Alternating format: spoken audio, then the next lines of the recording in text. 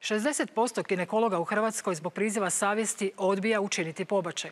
Tako već imamo pet bolnica u kojima se taj zahvat ne radi. Sve to ipak ne pridonosi smanjenju broja prekida trudnoće jer su brojne žene krenule put bolnica preko granice.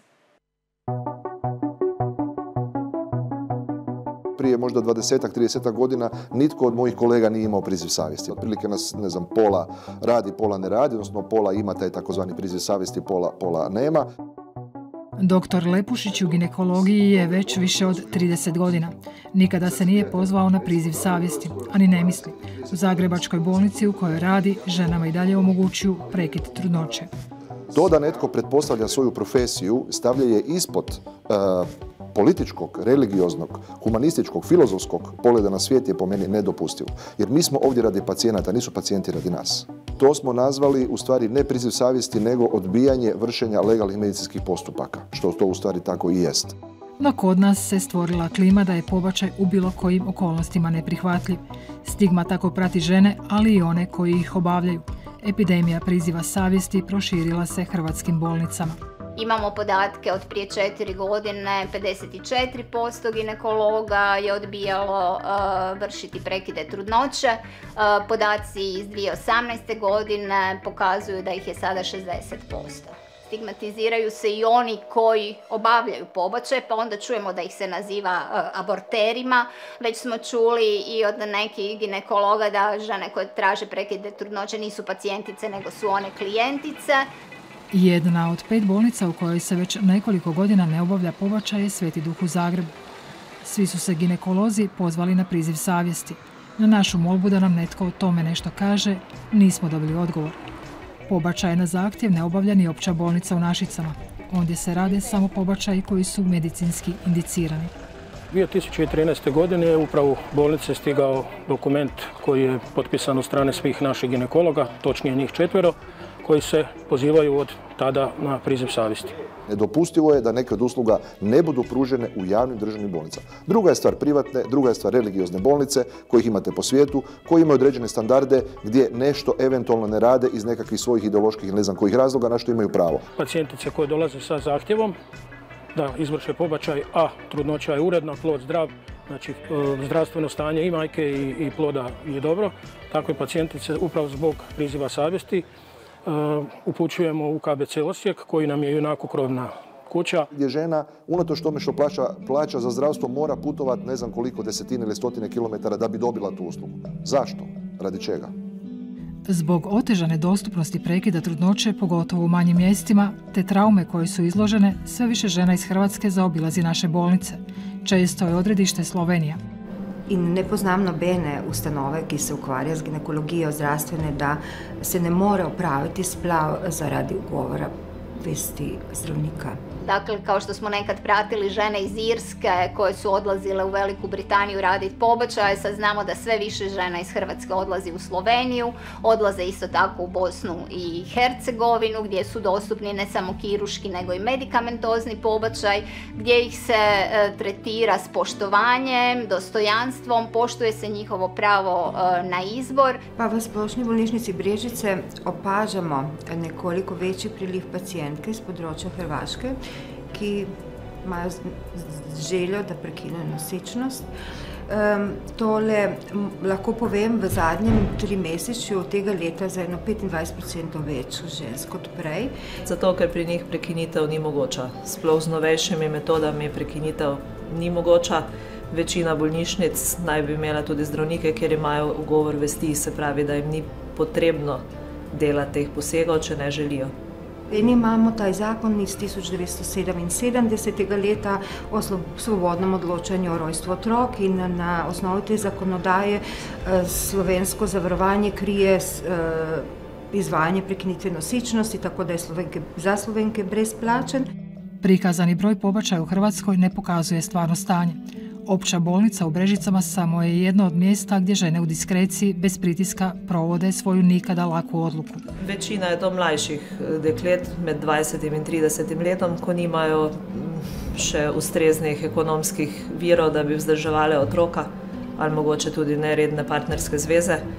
Tako da večinoma opažamo iz Hrvaške teh vsi so medikamentozni. Če se le da, začnemo s tem postopkom, ker je manj nevaren in bolj mm, dober za žensko, ali kako vam ne rečem, prijazen do telesa, prijazen do maternice, tudi bolečine niso prevelike, tako da ga večina kar dobro sprejme.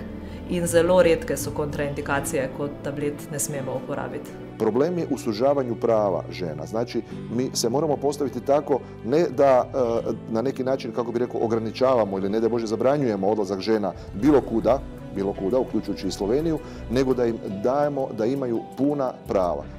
U ženskoj sobi u Zagrebu godinama se bave žrtvama silovanja. Dolaze im žene koje su nakon silovanja ostale trudne. Visoko traumatizirane često su izložene pritiscima kako bi možda trebale zadržati trudnoću. Kad nam se obrati žena koja je preživjela silovanje, unutar kojeg je došlo do začeća, mi ćemo dati našoj e, klijentici apsolutno sve informacije koje će omogućiti da ona kroz sve ono što, kroz što mora proći, prođe sa minimalno traumatizacije. Naše iskustvo je da u Sloveniji znači žene dobivaju bolju uslugu, dobivaju uslugu bez ovakve količine stigme, dobivaju uslugu koju se neće propitivati njihova odluka.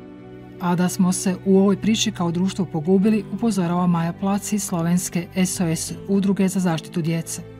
Poznamo primer, um, ko je šlo za posilstvo um, dekleta pod 20 let uh, strani bližnjega družinskega člana, um, razumljivo visoko traumatizirana po tem posilstvu. Um, ugotovila je, da je noseča in na Hrvaškem niso želeli opraviti splava. Uh, rekli so ji, da bi šlo za uničenje materialnih dokazov. Je li moguće da netko u ovoj zemlji misli kako bi silovano desetogodišnje dijete trebalo roditi? V Sloveniji je zdravstveni sistem odreagiral um, posem, bom rekla, neproblematično. Um, tukaj je bil upravljen uh, splav. Z naše strani smo jim nudili psihosocialno pomoč. Poruka m, zajednici jer je zajednica apsolutni uvjet za oporavak od svake vrste traume. Od požara, od poplave, od rata, pa tako i od seksualnog nasilja. Samo ogromna razlika je šta se na sve ove prve stvari zajednica reagira zaštićujuće, a kod slučajeva silovanja i pogotovo znači trudnoća koje su nastale unutar silovanja zajednica reagira sasvim drugačije. I moja poruka je da bilo koliko se zaleti u obranu principa bez da je razmislila ili razmislila o tome kako to izgleda u koži stvarne žene, da samo promisli još jednom. Ko imaš ti nekoga, ki je v tako hudi stiski, um, že tako ne, travma zaradi posilstva, potem pa še uh, posledica um, nosečnost in da imaš na drugi strani odziv države, da ne smeš odločati v lastnem telesu. A priziv savjesti na ovome nestaje. Na njega imaju pravo medicinske sestre, primalje, anesteziolozi, stomatolozi. To je puno širi pojam e, u medicini koji ide već i u preventivnu medicinu, odbijanje recimo cijepljenja, pa u recimo u palijativnoj medicini e, ili recimo u e, medicini koja se bavi recimo transfuzijom, uzimo liječnik Jehovin svjedok može odbiti recimo da transfuziju pacijentu i općenito, evo ako sad smijem reći kad već o svemu tome pričam, ovaj, općenito pitanje jednog e, privatnog pogleda na svijet nikako po meni je nedopustivo, ne može biti iznad prava pacijenta na zdravlje, na zdravlje i život. Klima koja se stvorila omogućava dakle da se širi taj krug profesija, ali isto tako da se širi i broj usluga koje će se odbijat vršiti. Pa tako ne bi se začudila da vrlo skoro neko kaže, ne znam, ja neću odnijeti hranu pacijentici koja je prekinula trudnoću. Mogućnost pacijenta, želja pacijenta, postoji s druge strane i mogućnost liječnika da odluči što je to liječenje. Znači mi kao liječnici smo se obavezali pomagati ljudima, liječiti ljude i sudjelovati u bilo kojem procesu koji bi mogao prouzročiti nekakvu bolest ili ugroziti život, zdravlje a ovo je jedan prostor koji je onako e, prilično, kažem, nedorečen. Dugo čekamo novi zakon o prekidu trudnoće. Ustavni sud svoje je već rekao, stečena prava ne mogu se oduzeti. Postojeći zakon treba modernizirati. Treba li crkva sudjelovati u njegovoj izradi? neko ko je katolik, pa on po defaultu neće napraviti prekid trudnoće jer mu to vjera, zabranjuje, ja to apsolutno podržavam, ima pravo na to. On ima pravo na to. Ne postoji ni jedan zakon u Hrvatskoj koji će siliti ženu da napravi prekid trudnoće. U tom slučaju bih ja dao za pravo crkvi da nešto kaže o tome. Ali kad se radi o radu e, na zakonu o prekidu trudnoće, šta tu ima crkva za reći kada ona to zabranjuje? Njezini vjernici, njezino stado to neće napraviti. Doktor Lepušić u novom prijedlogu zakona traži da se zabrani institucionalni priziv savjesti.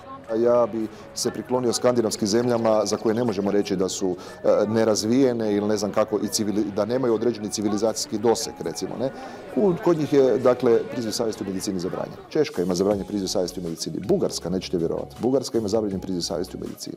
A gdje smo mi? Nigdje. Dostopnost splava apsolutno ne vpliva na višjo število splavov, da pače nasprotno.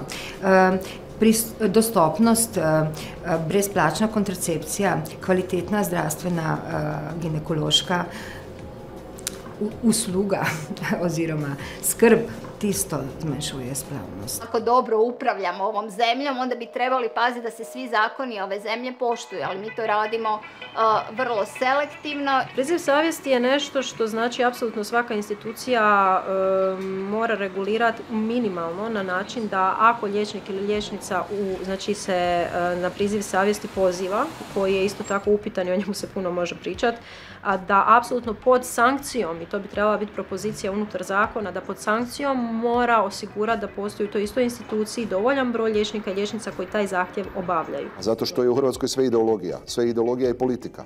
Zašto, e, zašto Finska ima najbolji, najbolji školski sustav na svijetu ili jedan od najboljih? Zato što nemate ideologije i politike, nego imate struku.